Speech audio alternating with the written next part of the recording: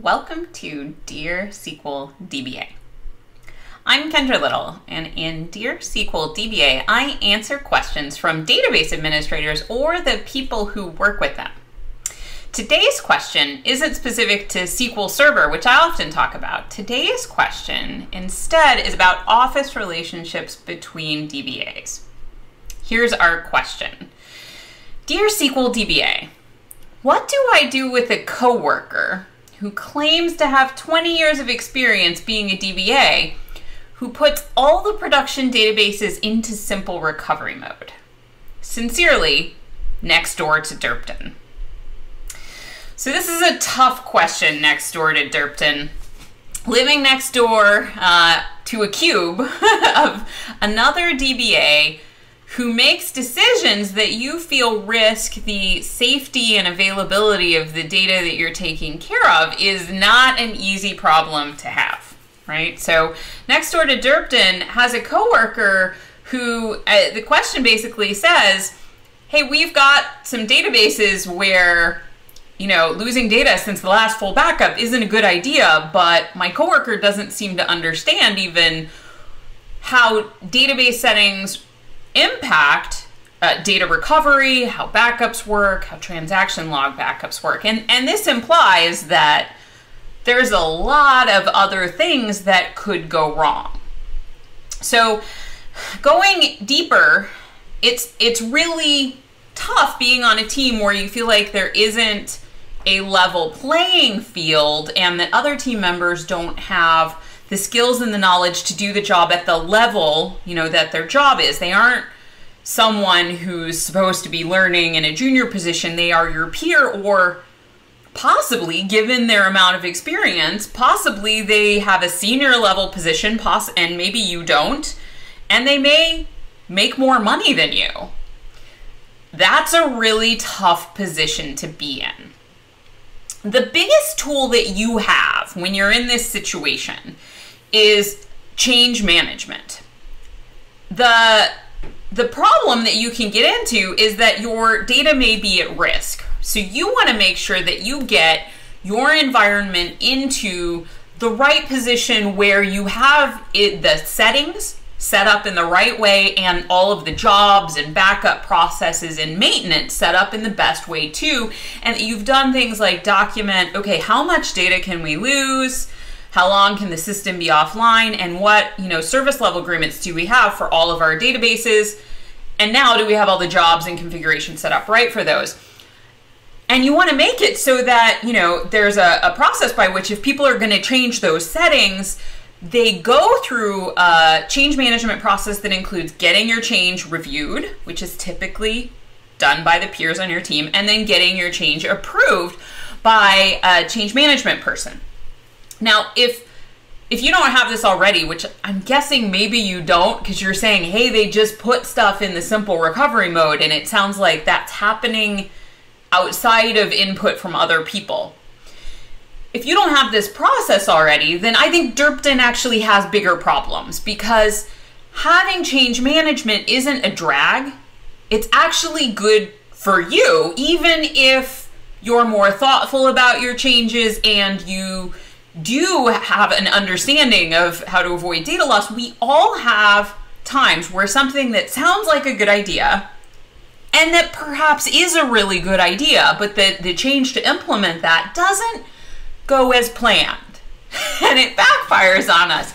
And in those situations, the change management process is actually hugely beneficial for you because you have a way to say, okay, well, here's the, you know, way we plan the change and the review we got and here's what we learned from the situation, the root cause of what happened. And when we do another change like this, here's what we'll do differently.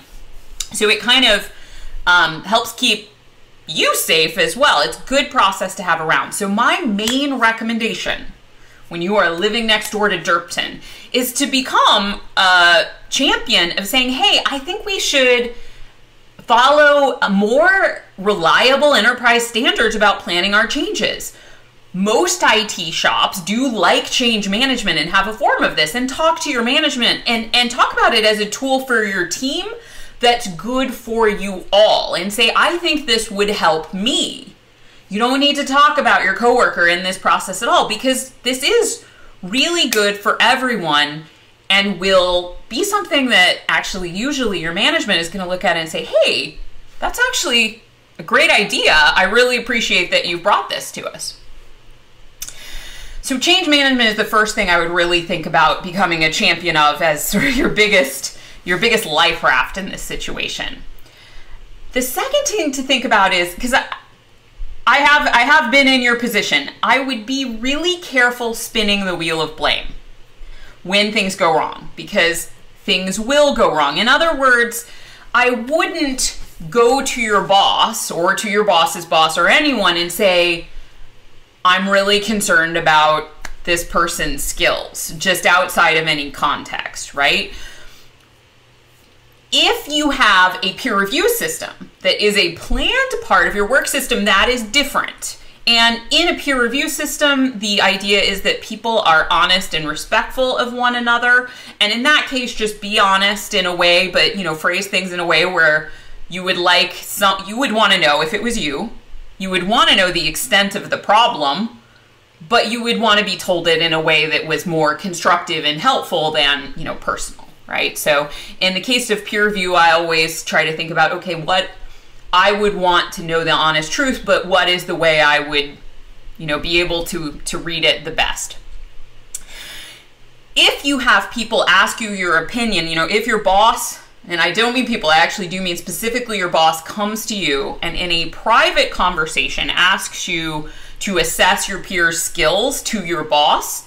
In that case, I, I think it's also fair to be to be honest. Um, ask your boss not to repeat the conversation to your peers. Say, you know, is this a private conversation? Because you the thing you want to be really careful about. You don't want to have this conversation with other peers and you know unless it's to the person who's asking you about their skills and they want a, an assessment from you you have to be really careful in this situation when you feel like your peer isn't skilled because you don't want to create an environment where you're gossiping about it to other people or where other people on the team are all kind of looking at down on that person.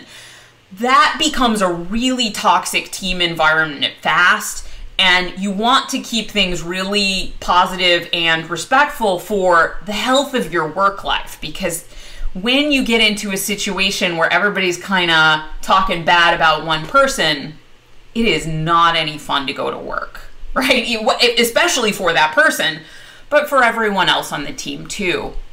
So I would really try to to only talk about, you know, talk about skills and what skills people do and don't have in a really, you know, specific review format. But that being said, you don't want to have situations where you're hiding mistakes people make.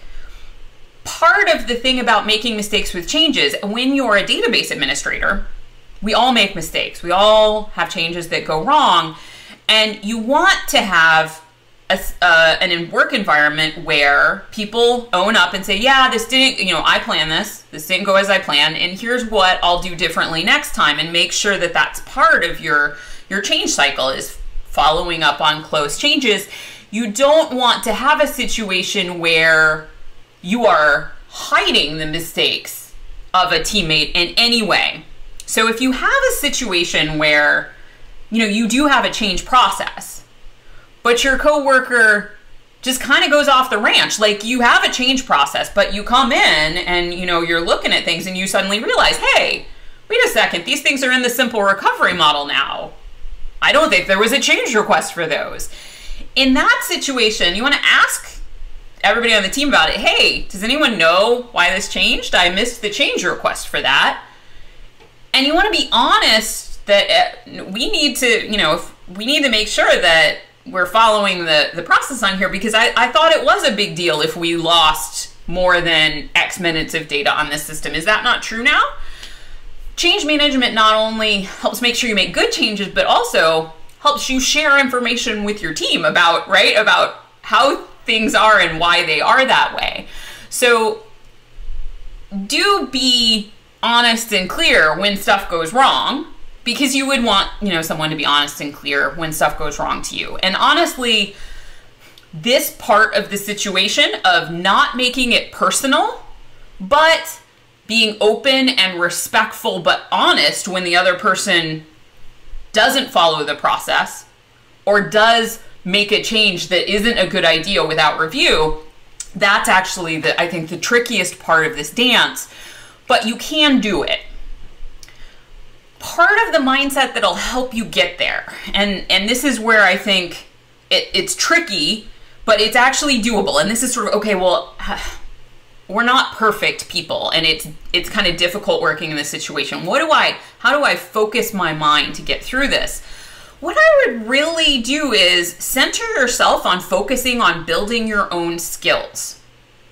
As you continue as a DBA, the skills to define strong, resilient processes that can be carried out by people who may make mistakes with good documentation, those skills are going to be increasingly useful to you because you are going to, as you grow in your career, have junior DBAs who don't know as much, who you have to define processes for them to do stuff, give them good enough documentation that it happens right, and you're going to need to review their changes and make sure they're doing things right too. So if you think about this as I'm building my skills on processes and documentation and change control, and that actually really is helpful to me in my career, then it kind of helps point out to you that although it's a difficult situation, there really is something that you can get out of this that kind of pushes you up through the ranks of, of database administration. Because after working with a peer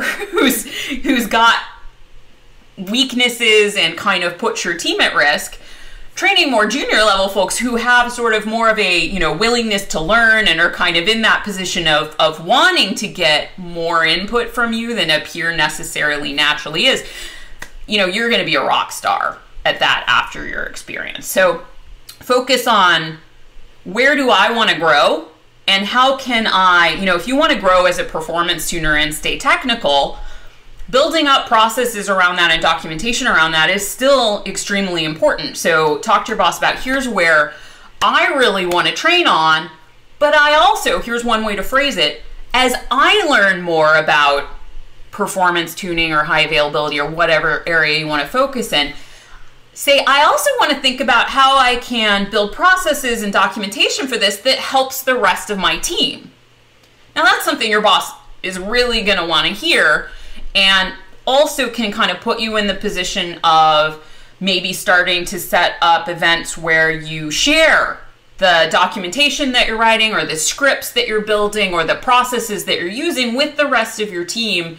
So you are helping your teammates as a good peer and also really that that kind of activity really puts you in a great position to advance and grow your career at your company and it's fantastic resume and interview material to talk about in the future, right? Good, strong, resilient processes and documentation, I know from experience, are also really good for you at 3 a.m. when you get paged and are your very sleepy self who may be a little quick to do something inadvisable as well. So it can protect you in an on call situation as well. So I hope that these thoughts have provided you some help. My friend who is living next door to Derpton, I hope that your whole work neighborhood improves and becomes a safer place soon. Thanks for listening to Dear SQL DBA. We'll be back next week with another episode.